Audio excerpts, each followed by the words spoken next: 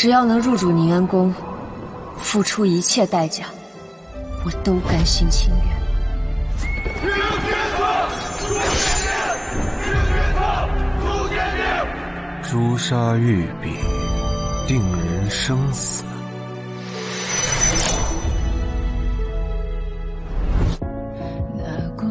一切仿佛一场梦。曾经，我亏欠了很多人。长哲，你帮帮我，这次过后我就做个好人。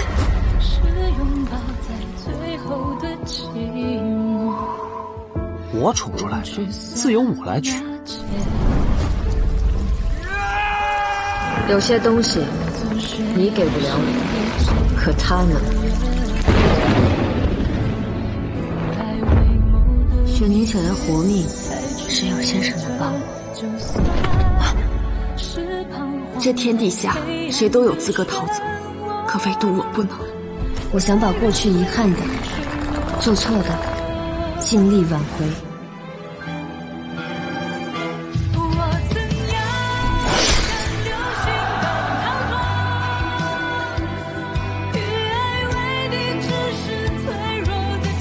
张大人可相信前世注定？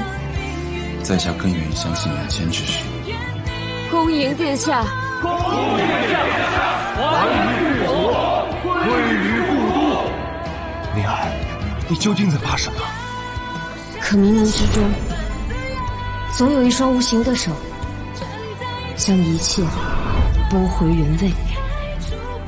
仇既报，怨既偿，到头来。你。到底是谁？繁华地，争斗场，一世荒唐，满腔错付。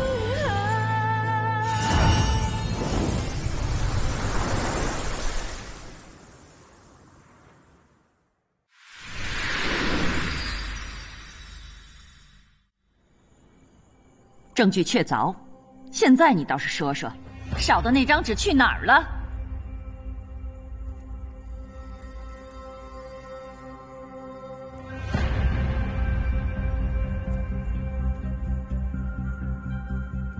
娘娘莫急，现在定罪臣女为时尚早。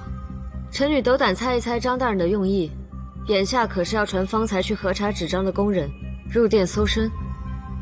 正是如此。又弄什么玄机？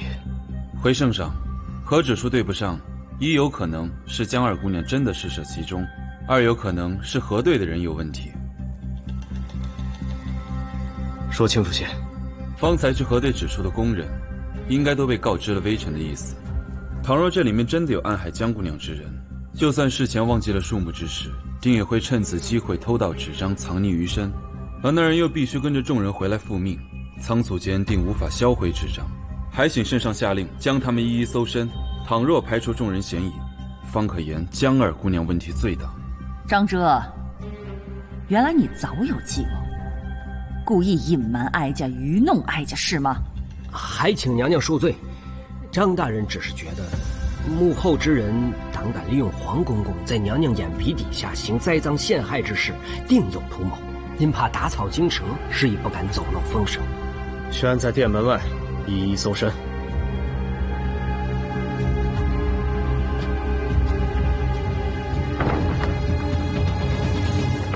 想不到张大人还有连环计。我还以为是为了姚姐姐的名节考虑呢。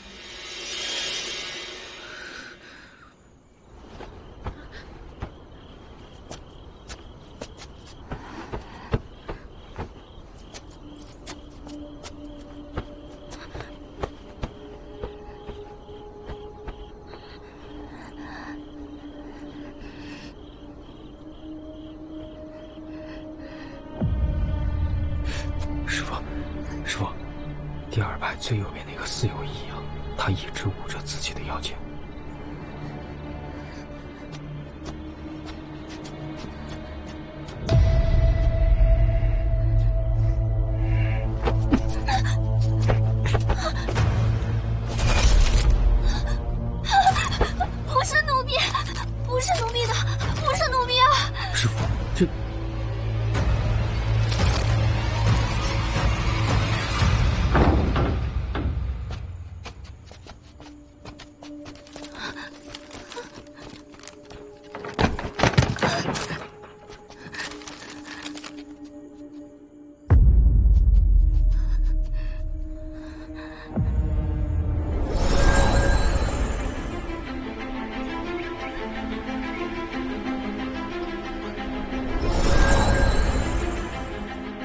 圣上，太后娘娘，此人乃是杨芷斋伺候的宫娥娇蕊，奴在她身上搜到了这已经用过的白露纸。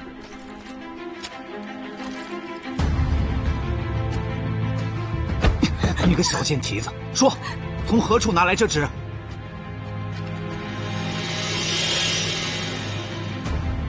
回圣上，娘娘，这张纸上的字迹正是臣女所写。想来他方才只能协助，没机会碰费用的纸，所以才悄悄从角落里拿了这张沾过墨的，却也刚好证明了这纸为臣女所有。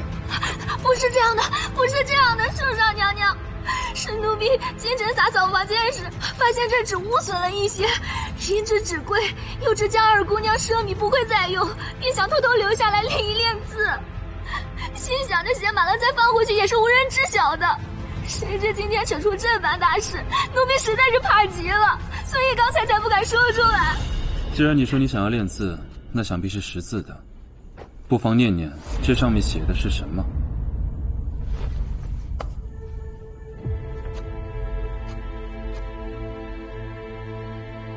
素闻张大人有随身携带公文的习惯，想必是刑部的公文。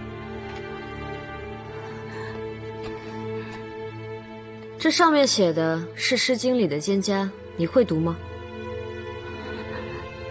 蒹葭。这公文上又怎么会有诗呢？瞪我作甚！若不是此时在圣上与娘娘面前，我早就两巴掌扇在你脸上，好问问是哪样的蠢主子养了你这样的废物！放肆！什么主子奴才的？你不过是一个小小的伴读，谁会处心积虑的加害于你？圣上，此事事关臣女清白，更关乎逆党一案，关乎朝廷社稷，请圣上明察秋毫，审出幕后之人，为臣女主持公道。你先起来吧。是。不错，你既不识字，纸上之言你亦不认得，便不可能是你独自作案。说，背后究竟是何人指使于你？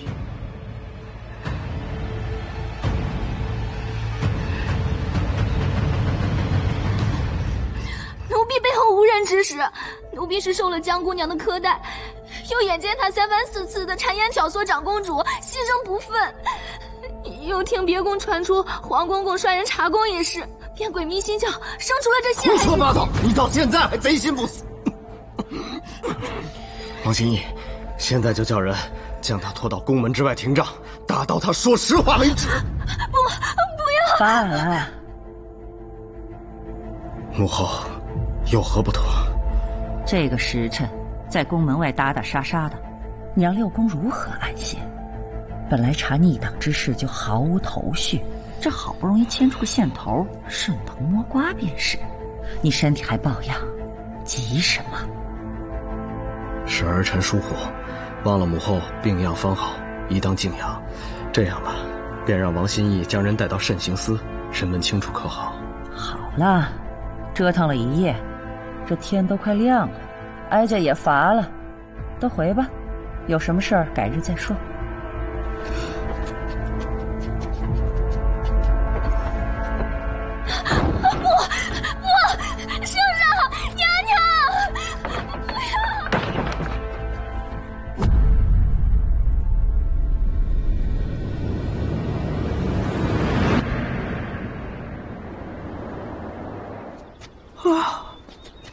是什么贪狼入庙、流年犯岁之日？可真是吓死我了！不过您姐姐也太厉害了，这进一步是死，退一步也是死，只得搏一搏了。不过昨夜洗脱冤屈，靠的都是刑部的大人，都是你平时不大会做人，不然谁能恨到你头上这样捉弄你？要不是张大人看在姚姐姐的面子上，也不会管你。行了。有话还是回了杨芷斋再说吧。江姑娘为何这样看着我？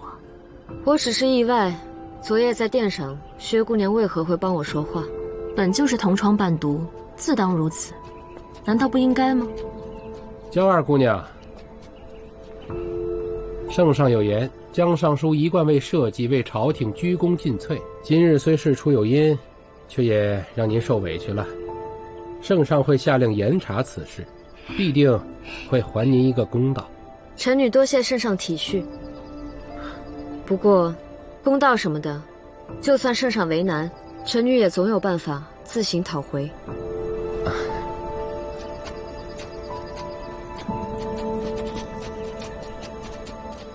张大人果然让人刮目相看。本以为左右都要得罪一方，想不到竟然峰回路转，破了这悬案。今日之事背后主使，只怕并非是进宫与如意之人。此话怎讲？宫内之人已被清查数次，且不说是否仍能顶风作案，就算真是逆党策划今日之事，那也没必要针对一名小小伴读。嗯，此话有理。不过这位江姑娘也不是普通人。大人此言何意？难得呀，难得！张大人竟然也向陈某打听起事情来了。哎，张大人，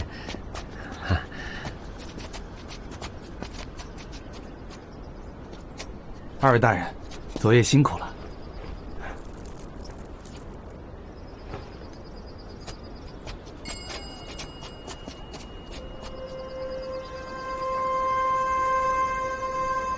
怎么了？哦，昨夜若无陈章二位大人，我只怕已身首异处。大恩当言谢，我去谢过，你们先回吧。哎，他这疯病要发到什么时候？那可是外臣外男啊！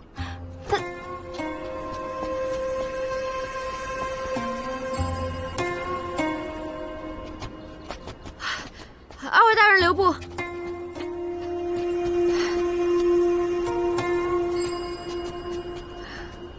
多谢二位大人救命之恩，小女冒昧前来，是为向张大人亲致谢意。哦，向张大人道谢，那就是没有我的事了。张大人留下闲聊，陈某在前面等你。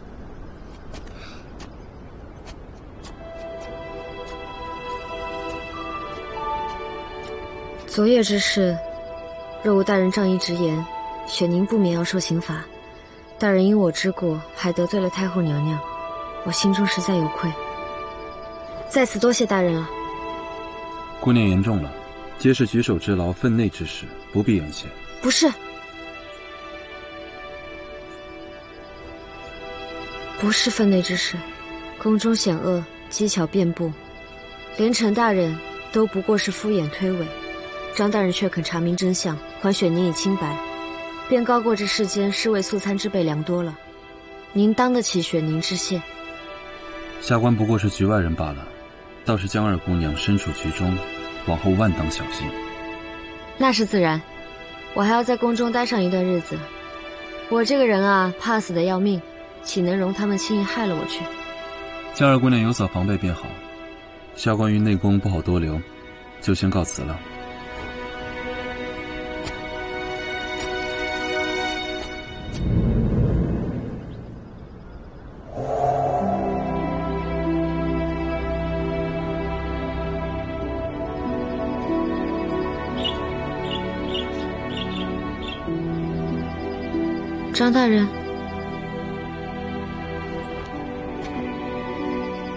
江二姑娘同姚小姐一起为长公主殿下伴读，听闻曾为在下之事起过争执。姚小姐曾因退亲想过诸多手段，不知真假。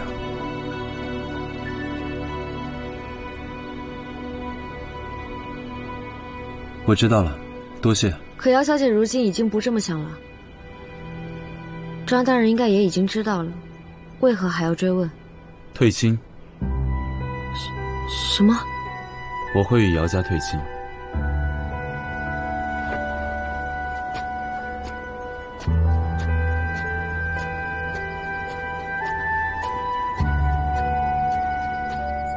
他要退亲？他不喜欢姚希？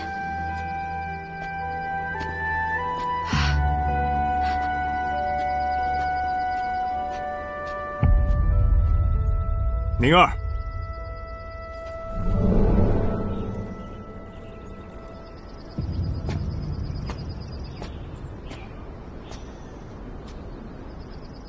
有这么好笑吗？先生，您怎么来了？我若是你，才遭人陷害，捡回一条命，万万是笑不出来的。您都知道了。闹得满宫风雨，想不知道都难。还愣着做什么？现在还在外游荡，嫌命太长是不是？我。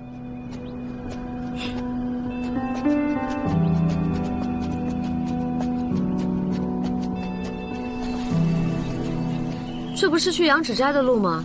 文昭阁在那边。今日在泰安殿如何？看出来是谁想害你了吗？表面上是个叫焦蕊的小宫女，可我觉得此事没这么简单。太后在审我之时，大有要追究到底之势，却在审宫女时草草结束，着实奇怪。你不怀疑谁？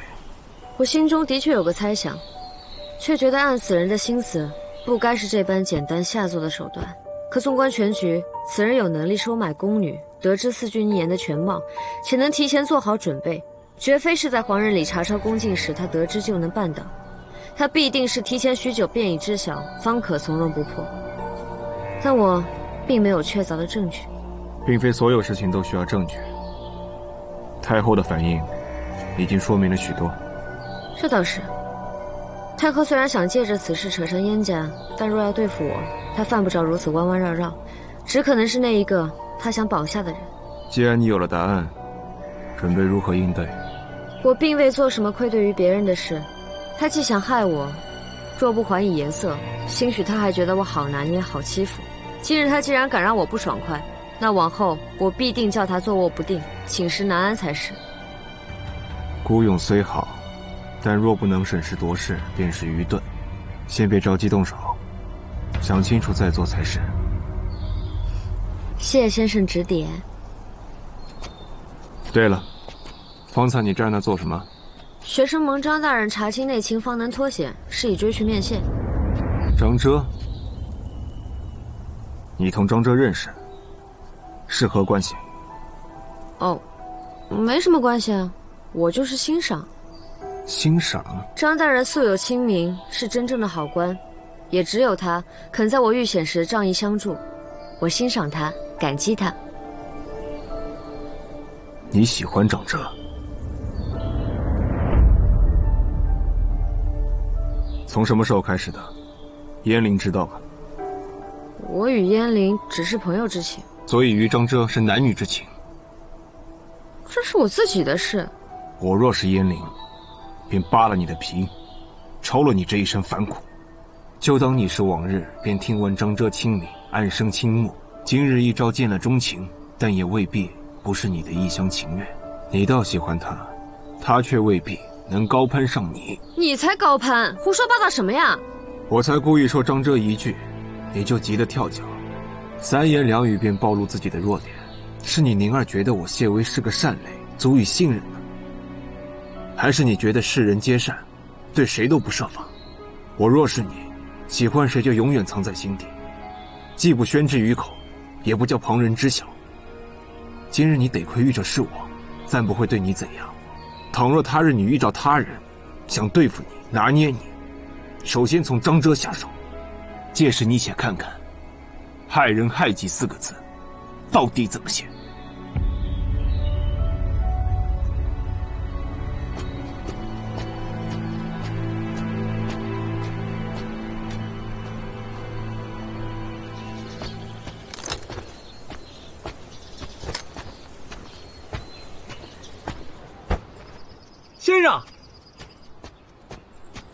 怎么这么早回来了？不是说顺道给伴读上课吗？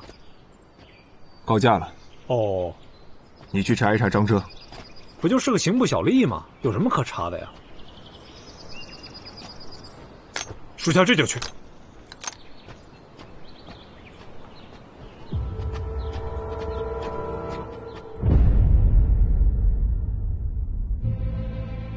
跪下。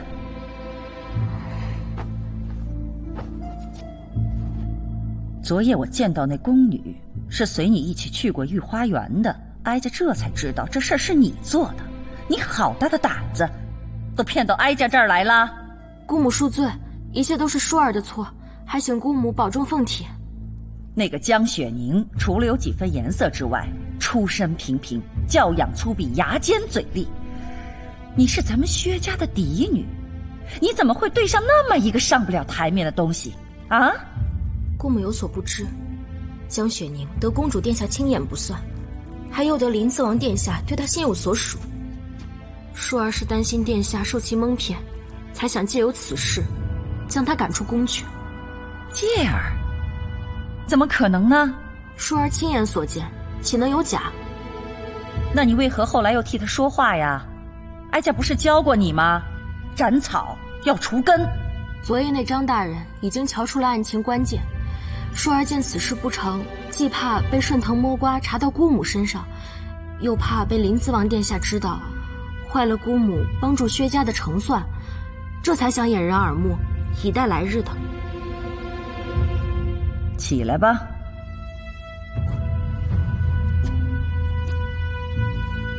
既然一计不成，是不能打草惊蛇。江雪宁、张遮，还有那个燕家，全都来坏哀家的事儿。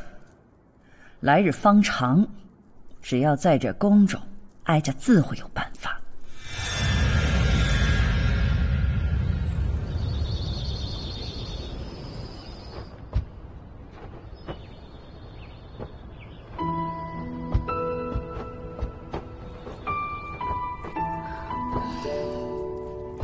殿下，真的够了，我穿不了这么多。笨蛋宁宁，这不是给你穿的，这是给你做脸面的。昨夜你受了陷害，就说明有人没把我的话放在眼里，还以为你是个没依没靠的呢。来，我说了会在宫里照顾你，那就绝对不能任由人家欺负。这些先给你压压惊。苏尚仪，在。你派人去慎刑司盯着，只要那臭丫头招出背后的人，本公主要第一时间知道。是。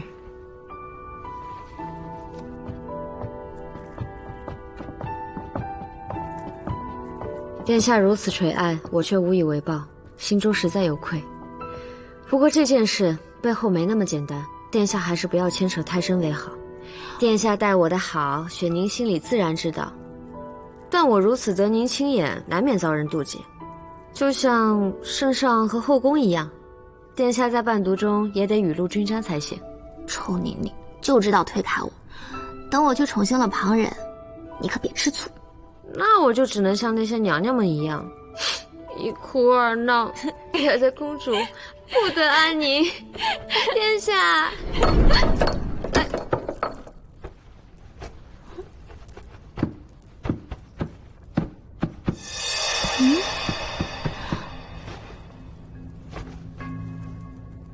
手帕好像王兄也有一条，你们俩该不会是……哎，殿下想什么呢？这手帕普通的很，坊间随处可买。也是啊。不过殿下怎么知道临淄王也有一条？就是伴读换座位那一日，我怕书委屈追去解释，碰上了王兄，偶然看到的。这些年也没听说过王兄喜欢哪个姑娘呀。我问他，他又不说。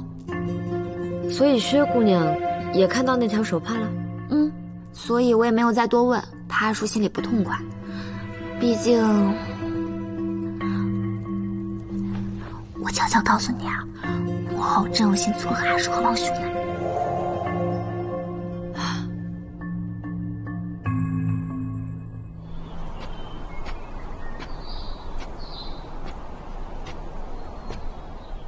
所以昨夜的事。就是因此而起，补上了这番因果，更能确定背后之人就是薛叔了。争来斗去，不过就是为了那皇后之位。这一次谁爱做谁做，我不稀罕。昨夜先生相助之事，侯爷已经知道了。今日一醒来，便先请先生到府上一叙，表达谢意。只是不知先生这个时辰过来，怠慢了。侯爷过虑了，昨夜本是谢某巧合路过罢了。对了，昨夜听闻你们去追刺客，可有收获？清风没用，无功而返。刺客狡诈，本就难擒，不必过于自责。侯爷，侯爷，侯爷，您伤势刚缓，怎么出来了？无妨。侯爷，啊，侯爷，您还是快进去吧，要不然世子知道了。燕林孝顺，先前非要亲自去替我煎药，你去帮帮他，我与谢少师说说话。是。侯爷。哎，侯爷，晚辈不敢当。救命之恩，如何不敢当？当年初见少师之时，便觉得莫名亲近。后来，你成了燕林的先生，对他多有照拂。燕林也对你赞不绝口。我想着，这或许只是人与人之间的缘分吧。但少师昨夜愿赌上性命，冒如此大险。又是为何？只因是燕林的先生吗？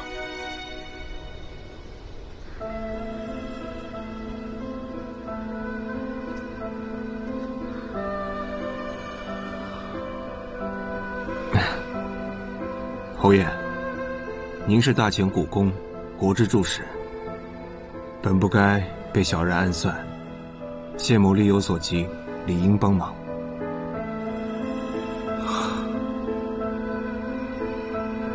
侯爷，这外面风凉，要不先回房休息吧。昨夜生死之间徘徊，不知怎的，梦里仿佛看见了许多往事，想起了这一生的征战，想起燕林早逝的母亲，也想起了长姐，还有定妃那孩子。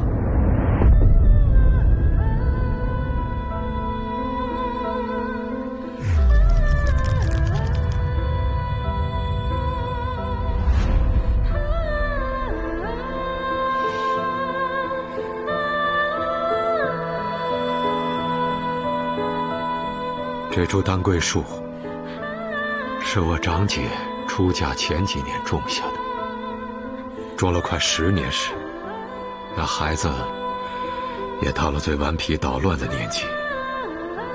我还记得有一次，他不知从哪里搬了张梯子来，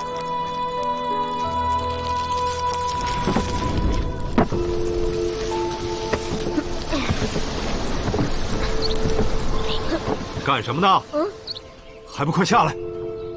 娘亲同爹爹又吵架了，几日都没消了。娘亲她最喜欢桂花香，我想摘一些拿给她，让她开心开心。胡扯！我看呀，就是你小子又皮痒了。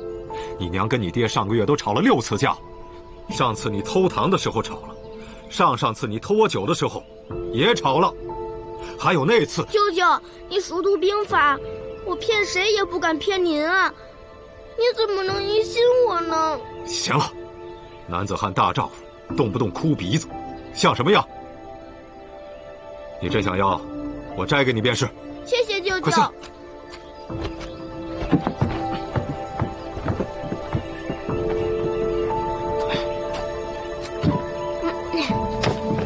哎，你干什么？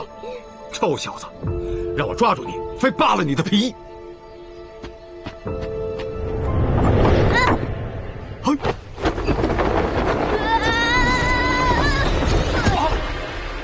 啊！舅舅，你没事吧？放心，还没死。这一次我就不告诉你娘了。下次如果你再敢，你试一试，我可就来真的了。谢谢舅舅。哼调皮。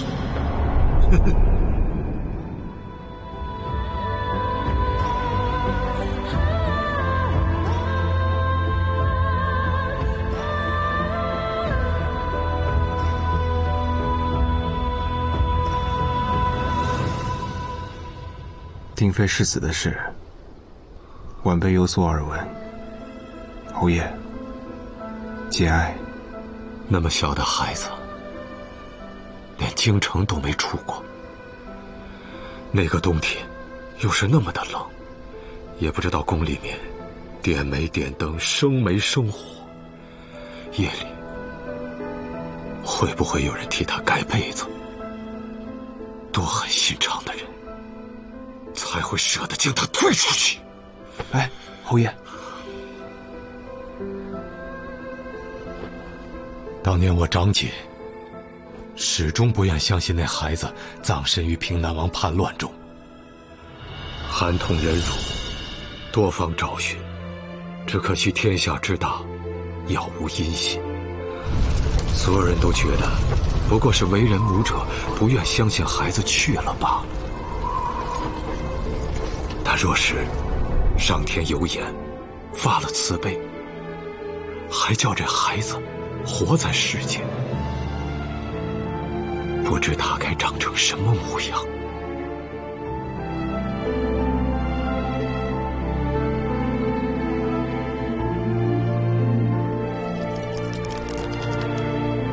吉人自有天相，既是上苍眷顾，便该叫他历尽劫波，琢磨成器。真相迟早会大白于天下。假若那孩子真的活着，还在世上，为何不早早出来与亲人相认？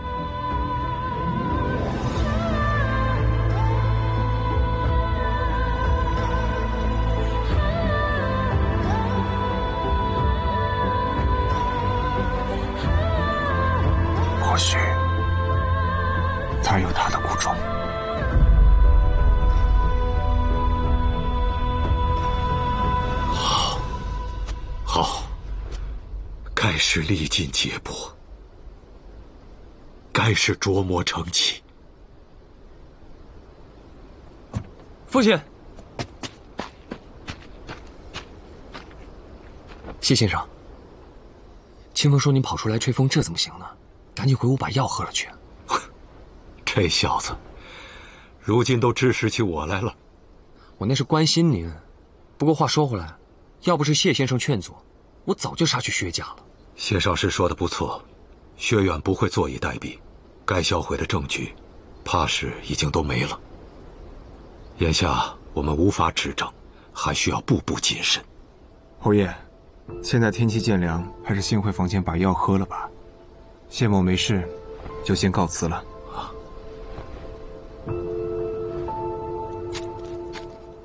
谢少师，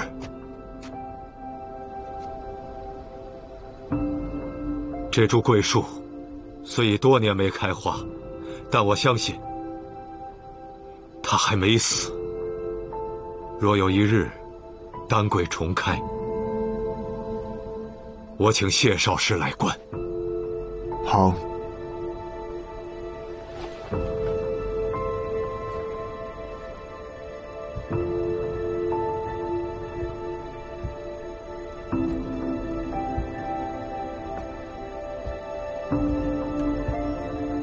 父亲问谢少师了吗？他为何要这般大酒？我总觉得他对我们燕家不一般。这些年，薛家如何卑劣行事，明眼人都看得清。谢少师乃高义之人，不过是以善心而为，你只需要感谢，莫要多想。是。回国公，严母从通州大营带回来的人已经除掉，咱们的人手也将城外的教场转移到了隐秘之处，这私兵之事已经万无一失。哼，万无一失。如果不是本宫反应及时的话，这件事情早都已经捅到太后和圣上那里去了。国公息怒。叶儿，昨夜我让你带着新五卫在城中以搜捕逆党之名。阻挠燕家求医，可为何到今日，燕家也没有传出什么消息啊？父亲，那老头子常年行军，哪有那么容易死啊？咱们这一次让他病上一场，吃吃苦头总是好的。你看他们连找圣上告状都不敢，定是怕了他。国公不必太过担心，咱们已抢先将刺杀的事安于逆党头上，便是燕家再要追究，任谁都揪不出咱们的错处。话是如此不错，但是烟幕那老家伙竟是如此就算了吗？想起来，总是有些古怪。叶儿，你昨夜在城中就没有发现什么反常之事吗？反常的，倒有一种。昨日入夜后，城中本无人走动，可听新五卫说，却在城西燕家附近的医馆外遇到了谢少师。谢威，嗯，先是移权刑部，接着便是漕运生丝之事，然后又是翰林院的人手，现在连新五卫封城捉拿逆党也有他的掺和。此人到底是何目的？是何居心呢？嗨，父亲，他不过就是个读书人，领的都是些闲差，咱们把人请过来问上一问，不就都清楚了吗？国公，小人以为公子说的在理。谢少师深得圣上信任，可却并无实权，虽有所忌惮，但也不用提防太过。咱们若能想法子结交此人，于国公成事，百利而无一害。嗯，说下去。结交拉拢，无非就是投其所好，或者雪中送炭。咱们一来可以留意谢少师的喜好，二来静待时机，等一个他危难之际再出手相助，便自然可将此人收入囊中。时机从来都不是等来的，而是创造出来的。圣上如此宠信他，就是因为他从来不争权。但若是圣上也对他起疑的话，哼哼，那就不一样了。哼哼哼哼哼。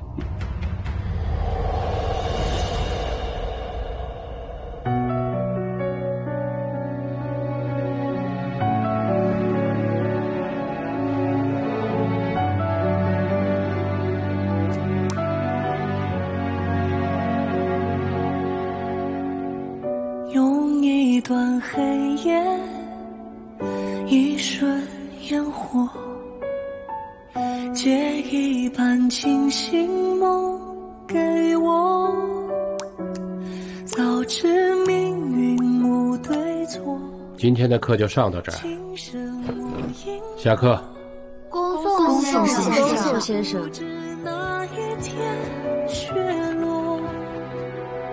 说起来，好几日都没见到谢少师了。是啊，他怎么连课都不教？这几位新夫子讲的虽好，可比起谢少师啊，还是差了点。对了，娘娘，谢少师不是让你去文昭阁学琴吗？你可有见过他？嗯，我倒是听我父亲说过，这谢少师啊，畏寒，每逢冬日都是要闭门不出的，兴许是这个原因。明日你们就要出宫休沐了，又要几天见不到，不如我们去御花园煮茶吃果子，再玩上半日如何？好啊，好啊，好啊！但凭殿下安排。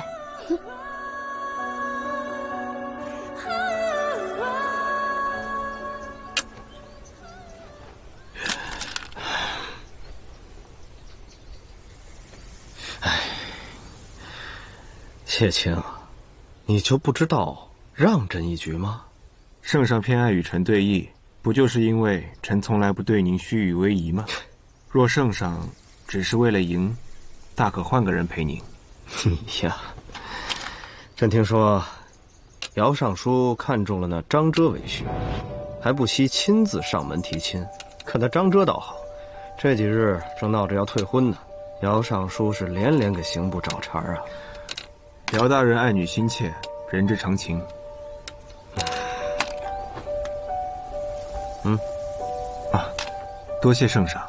但臣修道，只要是入了东藏世界，便不识铁腻。你说说你，清心寡欲，这整日除了佛经就是道书的，一把年纪了，连家也不成一个，成什么样子呀？臣父母早逝，族中亦是人丁稀薄，既无长辈催促。也就了无此心，可能也是怕有姚大人之类的麻烦吧。真想不到，谢青也学会开玩笑了呀！啊，高姐姐，你给我！不是，先生他们还在那边呢，你们两个别乱跑。见过圣上，先生。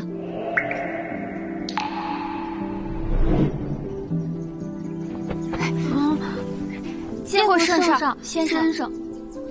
还以为是天冷生病，原来有功夫喝茶，却没功夫上课。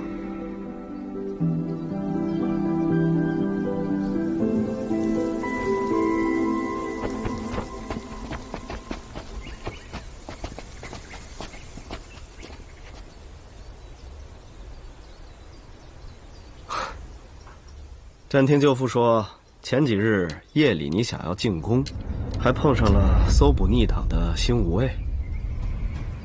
是，臣前几日将琴拉在了宫中，本想连夜回来取的，结果路上琢磨曲子忘了时间，等天明了才进来。哦，谢卿爱琴如此，果真是个琴痴啊！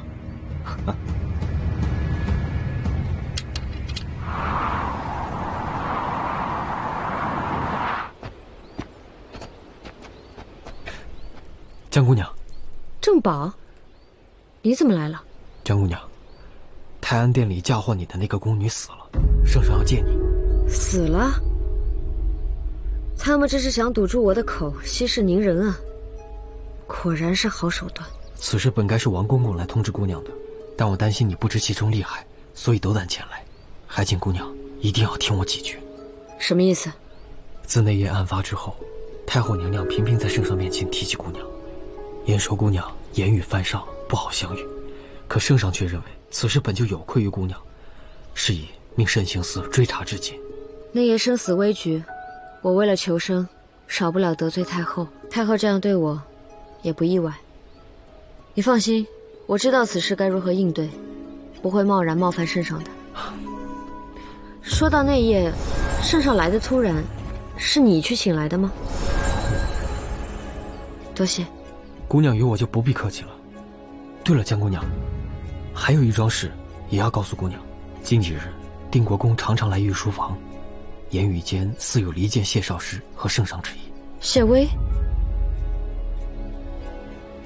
薛家，竟是注意到他了吗？你起来吧。是。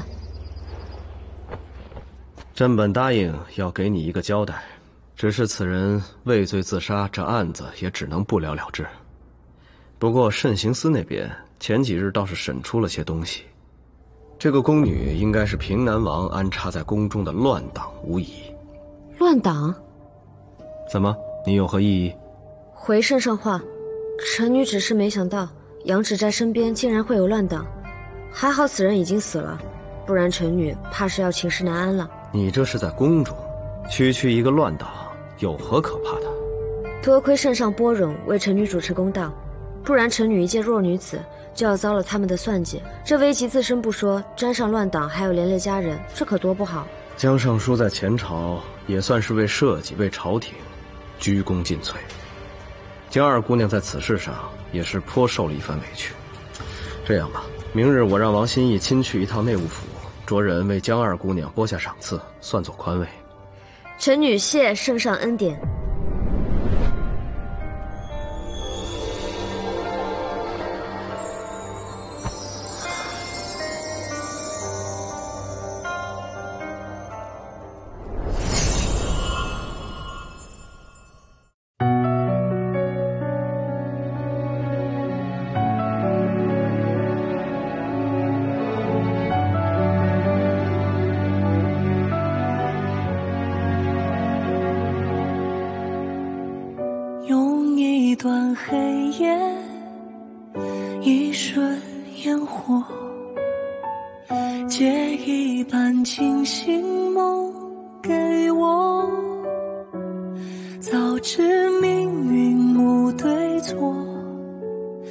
今生无因果却不知哪一天